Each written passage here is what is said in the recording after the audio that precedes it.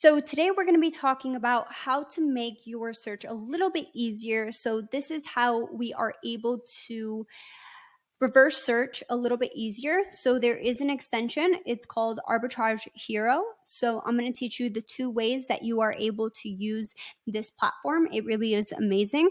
So, here, what we're able to do is we are able to pick a retailer. Let's say I'm a fan of Walmart and then I want to look in the specific category of beauty and personal care.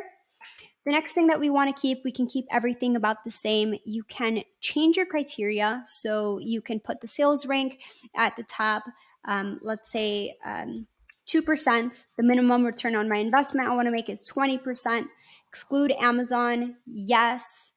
Uh, the maximum ROI, maximum cost, minimum sales. So you can kind of um, fix this based off of what you really look for. Again, you want to use the general criteria that we have given you, but you can get a little bit more flexible. Um, then what we will do is go ahead and apply the filters and we will update.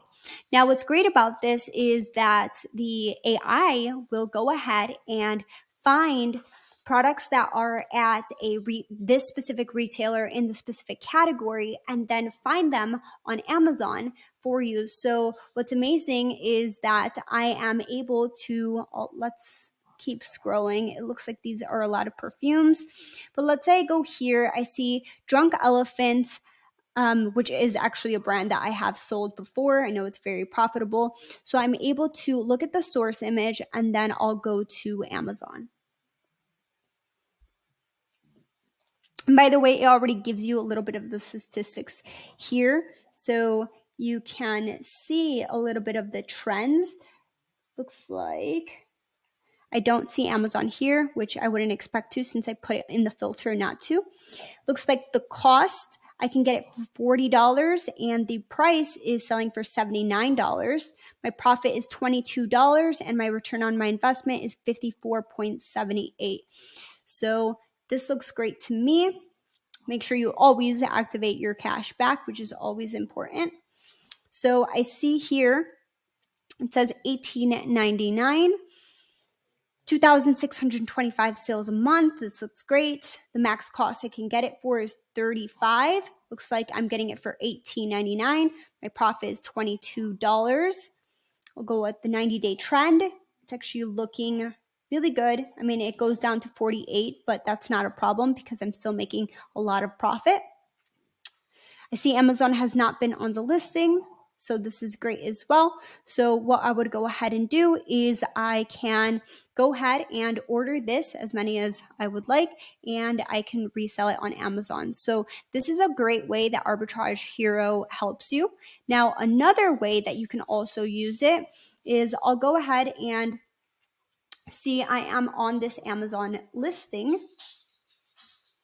And I'm going to go to the sellers. So I'm going to start doing some storefront stalking. Actually, what I can see here is there you go. The arbitrage hero is also activated. You can do that by going to the settings.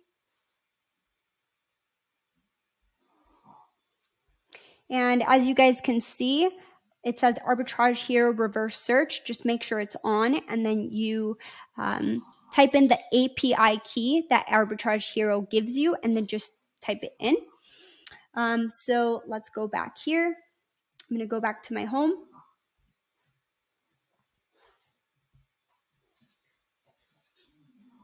All right, so we're on the specific product. So usually if you don't have this arbitrage hero, you can just go to Google and it will give you some different stores that you can search on. But this kind of just saves you that extra step. And if you just go down, it will actually just go ahead and list some stores there for you. So this is a great way as well as let's say I were just to storefront stalk this person if I go ahead and I go here, it also pulls up on the side here all of the different potential places that I can get it. Now, keep into consideration that sometimes the AI makes mistakes too. Maybe it is pulling up just one place and it says 2545. still do the Google search because you might be able to find this somewhere else. So we can just keep going down.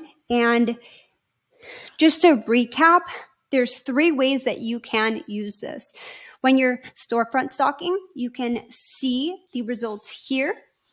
When you click on a specific item, you are able to just take a little bit of a shortcut and it gives you the items here.